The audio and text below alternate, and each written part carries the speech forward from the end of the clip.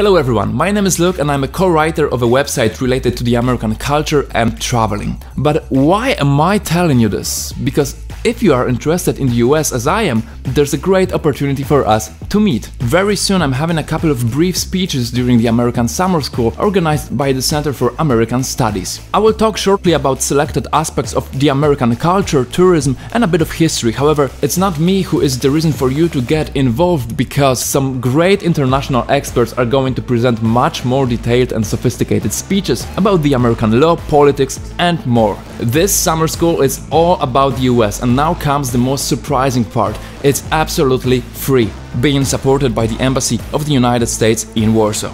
Do hurry up because the number of participants is limited, so please type www.cfaspoland.org, sign up and meet me at the American Summer School. See you there.